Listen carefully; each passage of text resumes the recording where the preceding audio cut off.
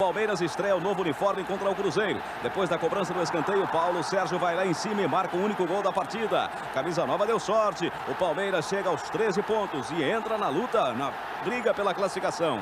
Com 1 a 0, o Cruzeiro cai para 11º lugar.